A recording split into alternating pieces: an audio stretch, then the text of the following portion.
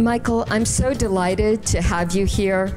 First of all, how did you get involved with horses and specifically with Arabians and with Qatar and Al Shaqab, the national stable? Getting involved in horses was an obvious birthright of mine. My father was a nuclear physicist, and my mother was a professor at a college.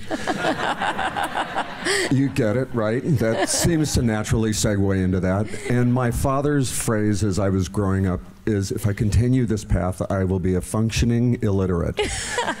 well, he grew to absolutely love the horses and love the horse shows. So I, from the earliest moment I can remember, I was loving to play in the dirt and be with horses and all animals, but horses the most. So there wasn't ever a conscious moment where horses didn't play a huge role in, in giving me oxygen to this life.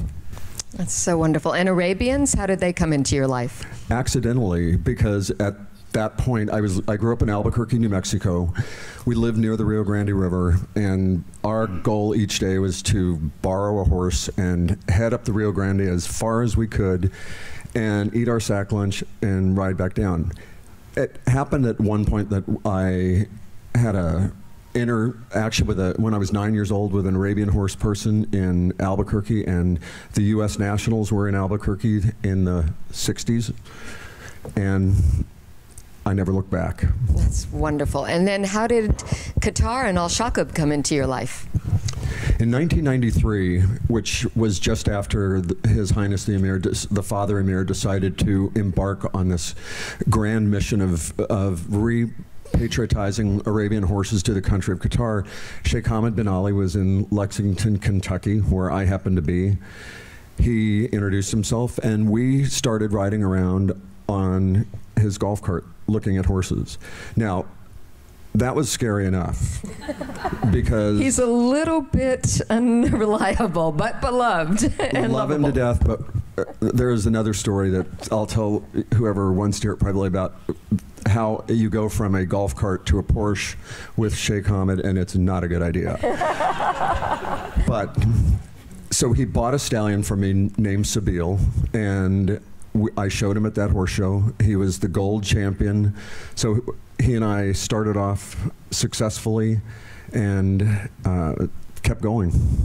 That's marvelous. And it, it, really was. People say there's no luck in life, but it was so lucky for me to be at that horse show and, the, and him to be there because it did change Arabian horses in my life? Well, there's an Arabic word that is maktub. It means it was written. So maybe not luck, but fate. Maktub. Um, what is it about Arabians that make them stand out from other horses for you? It's the it factor times 10.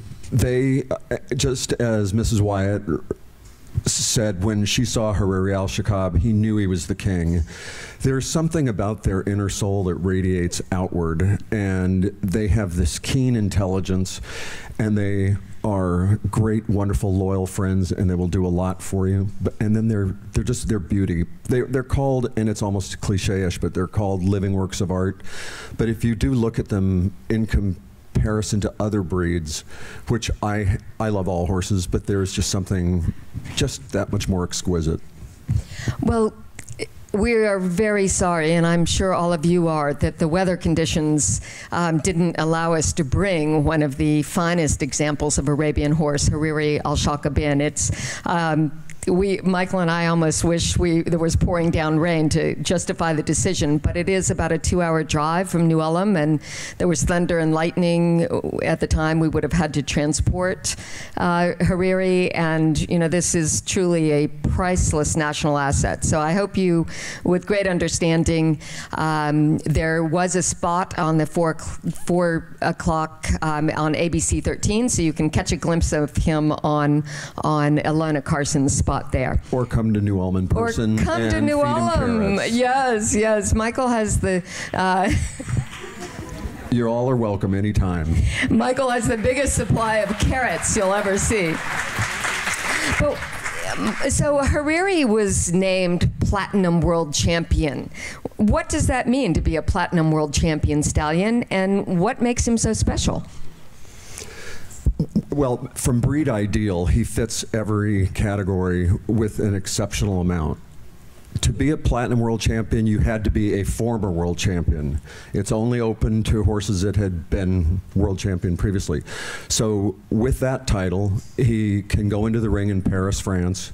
He's judged by a panel of nine international people, and he was named the platinum world champion in late November this year, which added to his already world champion title and three times U.S. national champion stallion and uh, the Las Vegas World Cup. He has won every single title in the world from Germany to his home in Doha to Scottsdale to Paris and all places.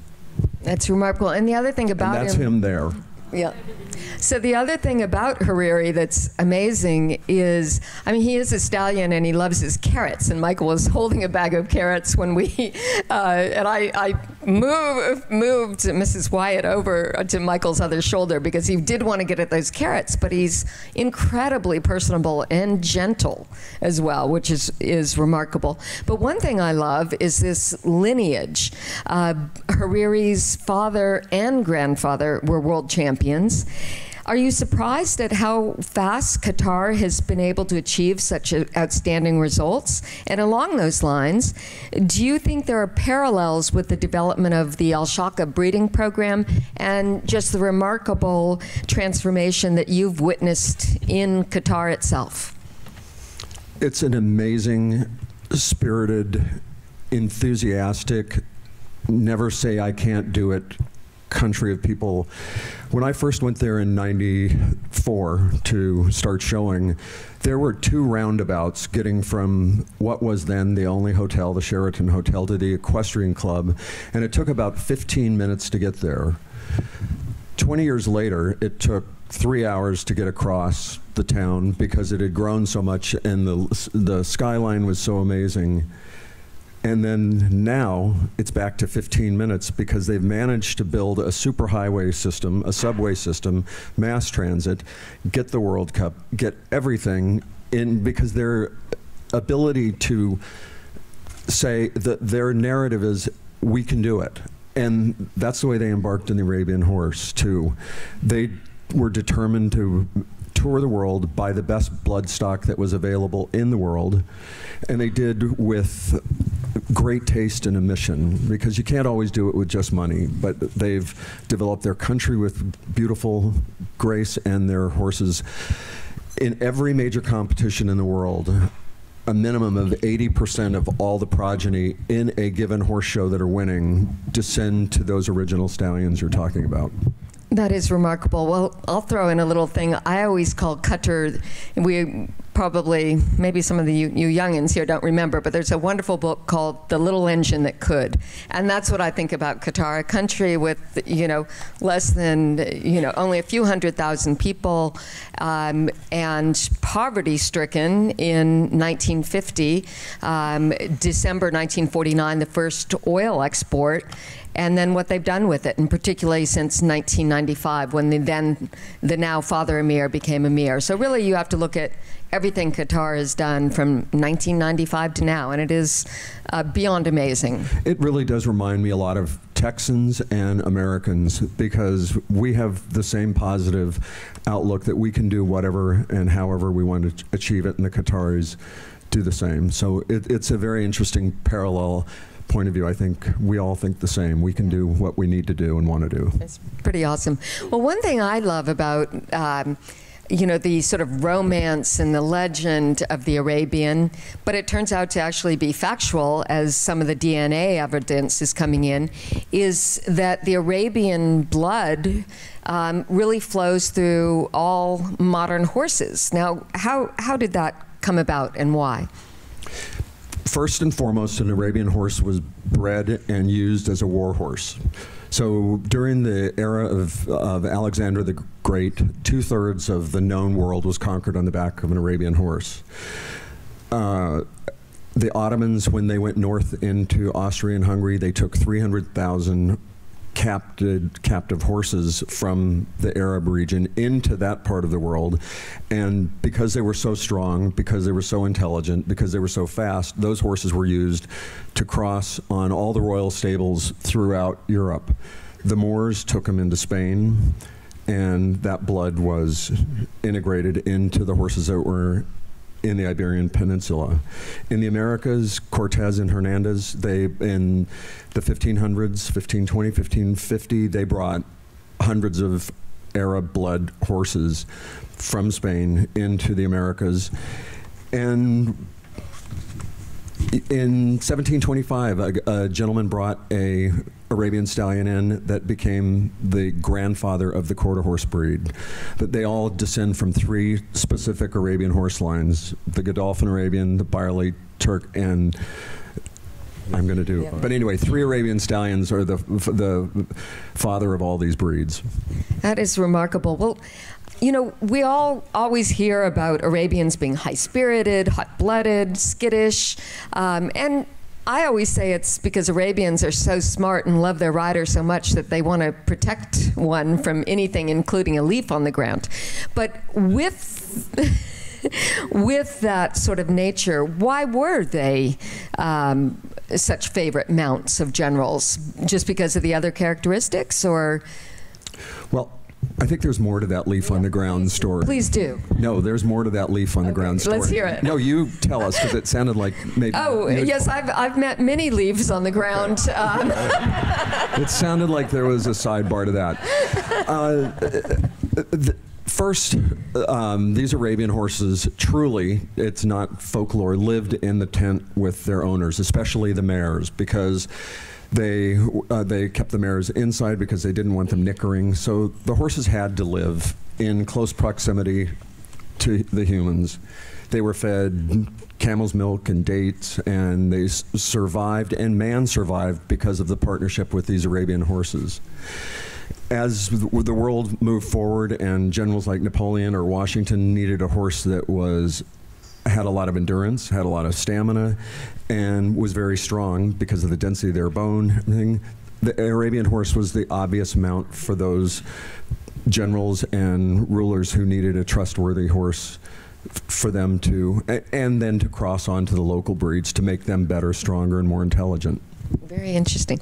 Well, um, speaking of endurance, um, it's not uncommon when people learn that I ride endurance to ask me uh, if it's like Hidalgo.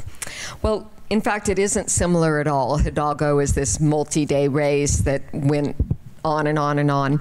Um, and modern endurance is actually a highly regulated international sport um, that is monitored fully by veterinarians. But the real question here is about the horse. Would Hidalgo, a Pinto Mustang, have had Arabian blood um, because of what you were talking about, De Soto and? I, I, most researchers and people that have delved deep into that subject uh, say yes. There, that horse's DNA had to include Arabians to do what it did. That's it's a remarkable thing. Well, I think some people you've you've mentioned all these generals who rode on horses, but I think some people who may not be familiar with Arabians may be more familiar than they know. I'm thinking of famous paintings by the likes of Rubens and Delacroix, and equestrian statuary such as the Sam Houston statue across the street from the entrance of the museum. And for contemporary example, Kehinde Wiley, who did the um, the President Obama um, portrait, he has just had mounted a huge um, monolithic, not a monolithic, but a very huge uh, statue in Richmond called Rumors of War. Now, from a distance, it looks like very traditional equestrian military statuary. But if you look more closely, um, the rider is a dreadlocked black man. This was clearly a counter Confederate message, yet nonetheless, Wiley did choose an Arabian stallion to em emphasize the message. Are these just romanticized images, or um, did were these really the very? I know we they rode them, but were they really the favorite, beloved mounts of, of these generals and, and leaders? Yes. In diaries and personal writings of several of the people that I've mentioned, George Washington had an Arabian blooded stallion named Blueskin. That was his chosen mount. Napoleon same. Um, Ulysses Grant had two Arabian stallions given to him by the Sultan of Oman, and those were his favorite mounts. Leopard, I think, yeah. was one of them. Yep. So, and to the point about the artistry of these horses, the reason I think, I do believe it's somewhat romanticized because all of these people didn't. But when you look at an Arabian horse versus some other breeds, and I love all horses, so don't want to get in any argument with any of you all. but uh, an Arabian is never static. They're always, they, they look like they're coming and springing from life and between their tails and their heads up high you always feel that there's a sense of power and motion and forward and looking out and in their own essence and viewpoint conquering what they're viewing so i think there is a romantic interpretation and we have a brilliant sculptor in the room tonight who can speak to that and if you all get a chance to meet Carol. Carol, here. Can you give a little wave? She's absolutely, she's been awarded incredible prizes in the White House because of her artwork, and she's a sculptor, and she can talk to that in our in the And reception. everybody check out her gorgeous pendant on her necklace, which I understand she also did. But she can speak to that. Is it romanticized or is it real? Because I, she'll have a great opinion on that. Well, and of course, Bedouin poetry and uh, so much in literature. They're often called drinkers of the wind because of these wonderful flaring nostrils. And but these things had practical purposes too. Everything about an Arabian is about the strength. Desert isn't that much sand. A lot of it's bedrock, and they had everything was designed for heat transfer, and so they were very practical. And, and practical to that, a lot of people ask me, are those tail carriages natural? Are those weird? What, what do you do to them? And that was part of evolution's gift to the Arabian horse for its ability to survive, because with that tail up and those nostrils flared, they could take a maximum amount of oxygen in to have the stamina. But their tails also, instead of being clamped, they elevated and it was an ability to aerate all the way through as they were running because up the air could flow under them and it was a cooling system That's Marvelous. Well, Michael and I, you and I often do, um, along with Anne, speak for great lengths of time. Um, Chase, with apologies, sometimes you don't love all this horse talk when we get together, uh, uh, but you're getting better at it. Um, but. so we could talk all night, but I, I think people were offered index cards um, when they came in, and if you have Q and A's, you'll see um, two wonderful, our wonderful volunteers, Ben and Shana, coming around if you want to pass those questions, and I'll just continue asking a few questions till we get yours. Um, so, breeding horses at an international level is pretty rarefied. How much does an Arabian, uh, hybrid Arabian cost, and what can an average person do if they can't afford one of these hybrid horses? well doing your research and exhaustingly looking helps you minimize the extravagant expense at the onset one of the most famous mares that came out of the Shaka program was Aladid Al Shakab's mother, who was purchased for $10,000. There are other examples that um, million dollar horses, but you can buy any uh, horse at any level. You can buy a $500 horse and be in love in Arabian and trail ride it. Or if you want to compete on the world level, it's going to be a little more expensive. Well, and I mean, I, another shout out to Emmett Ross, who is in the house, um, used to um, really developed the the All Shock Shakab endurance program, and a couple of my rider friends also here, and. I, I know he and Daryl and Butler also here, very famous in the endurance world. Um, sometimes find you know ex racehorses who have finished their race career or maybe weren't winning in the Arabian horse world, and they can be sourced fairly inexpensively, although people have now learned their tricks, so they're more expensive. And those become amazing champion horses. Um, now, I think people are often interested in how these horses, I know we were talking about uh, Hariri flying around. How does horse transport for, for horse work? It's it's easy. Actually, we if it's exclusively a horse cargo, we just load them up in a crate that's designed for three horses. Normally, if it's a stallion, you put the stallion in the crate by himself, but you can easily put three mares in a crate. You put them on a heist and put them in the plane. And I would bet some of you in this room have, on occasion, been on a KLM flight that had horses in it at one point, and you didn't even know the horses were in the back. So they, they combine it, but it's it's very easy. And when we brought Marwan Al Shaqab in, he flew in a FedEx plane from New York City here and was all by himself. He got FedExed. He got FedExed. I love it. Well, this we can get on the web or afterwards, but I, I love that somebody's asking for your address in New Ulm. Watch out, Anne. Here they come. um, what is the earliest evidence of the Arabian breed? And do you think um, they are evolutionary or a gift from God? Is that a submitted question or is that yours? Okay. Um, well, the cave paintings in France d- depict an Arabian horse, and they're ancient. They're depictions of an Oriental style horse that are tens of thousands of years old. Um, I think domestication was about th- 3,000, 4,000. four, yeah, four. We're, we're specific up here, but we can ride well. Well, the, it, but the- the horse, horses have evolved, and to the to the God question, wh- whoever you believe in, I believe all of this is a gift from whatever God you choose to believe in, because it's too special not to be. And the other half of this question uh, is obviously somebody who's already an expert on Arabians, and will love to talk to you afterwards about tensile strength, the bones, and everything. So, great question, but I am going to move on. Um, what food do Arabians eat in Qatar? And are there still wild desert horses in Qatar? And I I guess I'd like to add a little bit to that the question of who gets to decide what an Arabian horse is. I mean, I remember being in the uh, sort of backcountry of Oman and some tribal tribesmen who'd been breeding horses for 10 generations were a little upset that their horse was not an Arabian.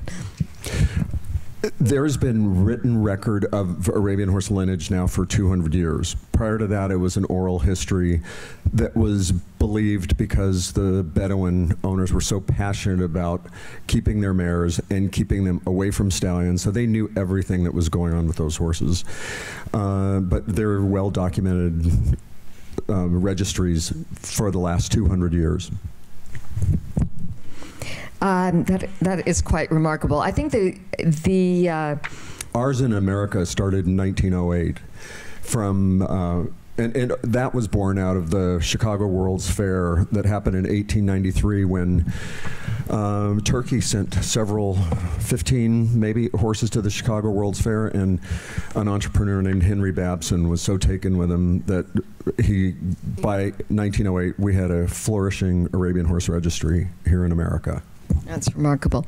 Um, what year did Hariri come into your life? So, also, how old is he? And does he have any special feed or requirements? Hariri, I've known since he was born. He was born in Italy. He was born in at a ranch in Tuscany, and I, when the first time I saw him, he was this rose gray with an orange mane and tail, and this proud bearing, and he was exquisite from the beginning. He came to America as a yearling, and in his very first show, which was in Scottsdale, Arizona, he was champion, and Scottsdale holds the largest Arabian horse show in the world, and he won and debuted as a unanimous champion, and that year he won his first national championship. What does Hariri eat? Okay, we've Determined for carrots. sure. Determined carrots. Hariri is the easiest, happy-go-luckiest horse. If you give it to him, he'll eat it. He's just game for whatever. There, he is not a finicky horse. He in November he flew from here to Doha for a photo session to Paris to the horse show. Came back, never missed a meal, never fretted. And won a, a platinum world championship Yeah. in the, in the. But w- there, and whoever asked that question, I'll give you the specifics of his diet. But he'll eat anything. That's remarkable. Does breeding always result in better horses? And are I, I guess are Arabians demonstrably better now than they were 100 years ago? And are there any problems that come up similar to hip dysplasia that is affecting some large dog breeds? I mean, so is there some overbreeding that's going on or any problems with that? There, uh, there are problems that have arisen out of too much inbreeding. So yes, to that. There, um, you, you do have to be selective. And the question of if Arabians better today than 100 years ago, I think, is a subjective question and not an objective question. So I would leave that to the person to look and study and determine that for themselves. Well, I, I think I one thing that um, Sheikh Hamad, the now Father Emir, said is that he wanted to de develop strong horses and ones with moral character. So, from what I understand about the Al Shaqab breeding program, and of course you would know more, is there has look is important, but function is the key. I mean, if you have a horse that is no longer, you know, has what Arabians are known for, the super strong bones and that thing, then you failed. Is that, would you think that's a char fair characterization? Yes, definitely. And on February 12th, in the year 2000, a horse was born named Marwan al Shaqab, who's Hariri's father, who in one generation has changed the physical nature of an Arabian horse. From he he he, he was such a strong preponent, stallion, prepotent stallion. He gave a horse in first generation a different structure, a shorter back, a more vertical frame, because we were inbreeding one certain line too much and we needed an outcross. So, and it, it, it is really challenging to breed horses and it shouldn't be taken lightly. You just really need to study it because it is hard to do. Yeah, I, th I think that may be a gift from God, the ability to breed. Um, I watched Sheikh Hamad bin Ali and, you know, he has, he's talked about having stallions that he'd like to breed, but not having found the right mare. Um, he hasn't found just the right mare for these particular particular stallions, and somehow these things come to him and to you. Well, in five generations, there's 64 horses in those five generations, and incredibly, all those horses can play a role, and sometimes you really don't want that to come out. Uh, so Hariri's father's Marwan, Marwan's father's Ghazal, his grandmother was a mare named Ijora who had big, wide ears. We don't like that. We like small, tippy, intelligent ears. Well, occasionally, not very often, those ears come out of poor Grandma Kajora. And we have somebody in our audience that imported Kajora back in the 80s, Mike Weinstein. He's been breeding for that long. But wow. we, we all, we, we uh, Ed, her, Mama's ears came out. but still a lovely mare. yeah, very. um, here's a question, and I'll answer part of it. Is the black stallion from the same bloodline, and have you met him? Well, actually, I have met the horse who played the Arabian stallion, uh, played the black stallion in the movie, but he wasn't black. He got painted. He was living out on, if anybody knows uh, Dr. Denton Cooley, he was living on the property next door. So sometimes he'd come up to their fence line. He, he, had white socks that they oh, dyed. yeah. Okay, thank and, you. And Wasn't all. He was bred by Dr. Cuello in San Antonio, Texas, and they found him, and that, they did dye those socks, but that was a purebred Arabian stallion that played that role. And he was also a very successful show horse in the Arabian horse scene in performance classes. Okay, but not any of the bloodlines that are showing up in the Al Shaqab, do you no. think? Yeah, so different. They, the, the family didn't really use him as a breeding horse too much. I see. But he he was, um, did he, he was a stallion, obviously, was, and uh, kept the, a stallion. The whole, the whole family showed him in everything from side saddle to costume to trail classes before he was discovered and made Walter Farley's ideal black stallion. Right, uh, book of my dreams. Now, this one I'm, um, what are the Araf I, I'm sorry, the Arabian, oh, what are the Arabian gaits? Ah, I thought, okay, what are the Arabian gaits? Walk, trot, canter. You know, they're in, in in the desert. You really don't want them trotting because that's a more laborious gait, and they didn't have the need to do a lot of trotting. They were galloping and raiding herds and living life and getting from A to B. So uh, they it's a natural gait to trot, but in going through deep sand, they just wanted them to gallop. But all of them are necessary and used. But very floaty gait, wouldn't you say? I mean, that's something there. Yep, yep. Well, one thing um, about the Arabians and something that is often the horses were camels were used more point to point on long Bedouin marches, and the horse would be used more for the precision raid. Was my understanding. Yes, because camels could ex- exist on no water. Horses had to have some sort of liquid, which ended up being camel's milk. But the horses were to be in and out, stealth, strategic, raid a village, get what they wanted. Which other countries outside the Middle East um, are prominent with with Arabian breeding? Brazil is breeding great horses. I judged the Brazilian Nationals this year, and their uh, stock was fantastic. Of course, breeding in Poland has been going on since the 17th century, and they have some of the most successful breeding horses on the planet. In Russia, they had a, a, a stud farm named Tersk, which it contributes so many important horses in our pedigrees. Uh, Au- Au- Australia, all over the world, other than Antarctica. And I guess I would, other than Antarctica. Well, maybe we'll have to change that. Sheikh Ahmad, where are you? um, also, I'd have to say that France has been highly successful in breeding endurance horses. And I think now a lot of people are sort of following their lead on that. Um, but what about celebrities? I know there, we know all these sheikhs who are breeding, but are there any celebrities we might recognize who are also um, involved with the Arabian breed? Houstonians, of course, know Patrick Swayze and his wife Lisa were very involved, and they were good friends of ours. And we were we were able to go to their ranch in Las Vegas, New Mexico, and see their horses at home. Um, one of my favorite people that ever owned Arabian horses was Mike Nichols. He had horses since he was a kid. Candace Bergman, she had uh, Wayne Newton. Still today has one of the most successful programs in the world. And I think we will close on a, a note. I hope what will be encouragement, Michael. Somebody is asking, um, they say they haven't had a chance to ride when they were younger. Um, is an Arabian too much to handle for a um, somebody who's not still young? We have no, not at all. Not at all. I, I just think you have to have the right horse and have the right advice. And an Arabian can be a great partner. I, I have watched a 90 year old lady successfully show her horses in Estes Park, Colorado. And she just, that horse, and still today, there's a man who rides a English horse at our national level, and he's in his late 80s. So, absolutely.